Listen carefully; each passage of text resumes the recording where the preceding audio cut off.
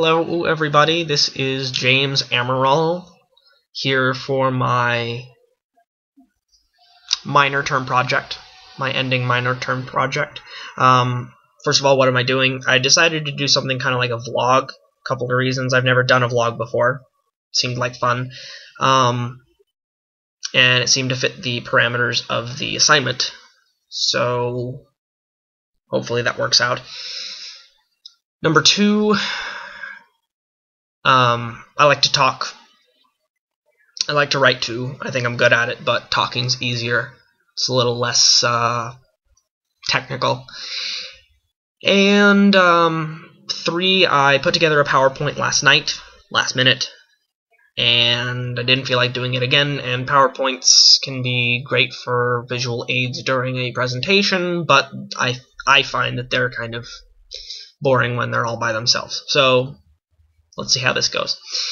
I'm here to talk to you about science fiction and fantasy. Specifically, how are they different? What is the difference? Um, why that matters.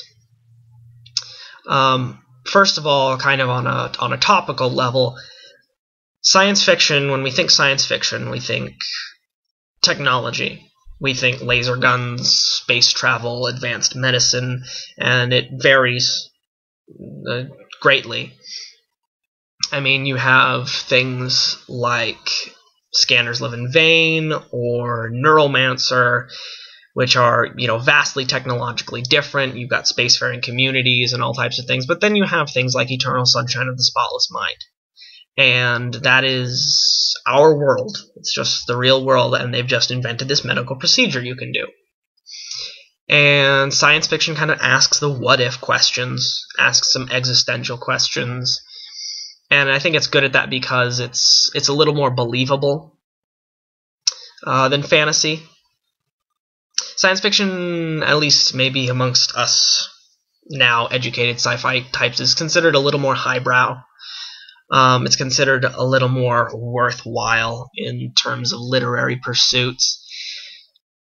Fantasy, we expect swords and sorcery, myths and magic, dungeons and dragons. The list of alliterated phrases goes on and on, it's kind of considered more lowbrow.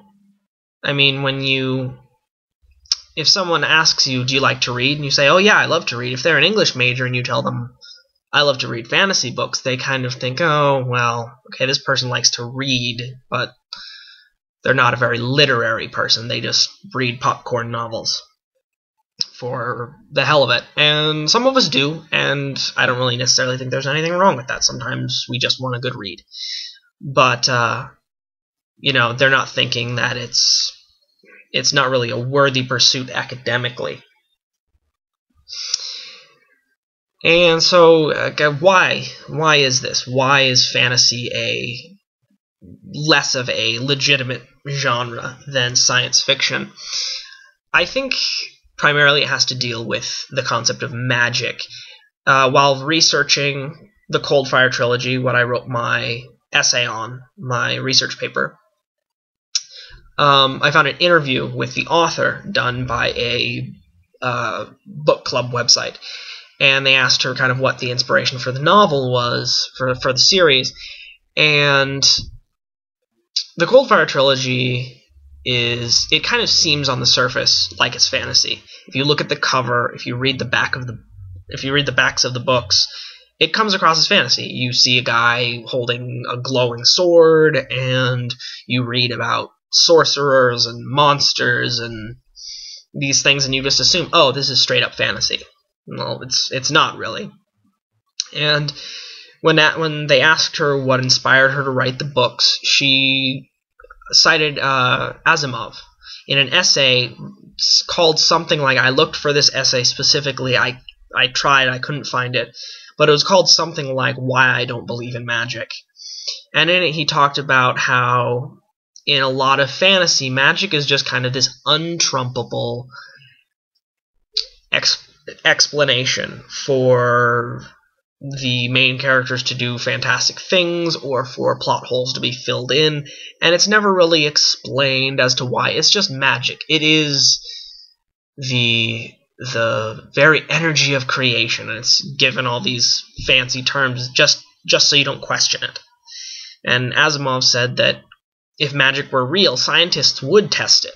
It would adhere to a set of rules. There would be a first, second, and third law of magic. It would adhere to the laws of space time and thermodynamics and physics and all of these things. It wouldn't just rewrite the rules of the world, it would complement them. It would be a part of the world, it wouldn't be exempt from the world. And that's kind of what uh, Friedman has done in the Coldfire trilogy. She's created a a world with magic that does adhere to these rules of these physical rules of of the universe and she has come up with her own system of rules for the magic itself, things that it can and cannot do, and these are rules that you just can't break, and where the energy comes from, and all of these things. And so, even though this series seems like it's straight up fantasy, it actually is science fiction. The entire premise of the series is that although mankind does they ride horses they don't drive cars they wield swords they don't wield rifles. Um, the whole premise is that the human race colonized another world. They had mastered space travel. They colonized another world and due to kind of uh, natural disasters and snafus with on this new world of theirs that they had discovered it actually reverted them technologically back hundreds or even thousands of years. And so they were kind of stuck in the mud. So even though it seems like fantasy, once again, it's not.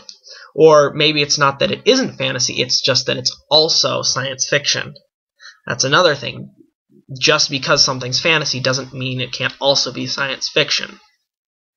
Science fiction, maybe that's even a bit of a mis- misnomer or we always think of technology when we think the phrase science fiction, but maybe we should think instead scientific fiction. Fiction that adheres to scientific laws or rules, whether or not those rules happen to be applied to technology or even to fictional natural forces on an alien world.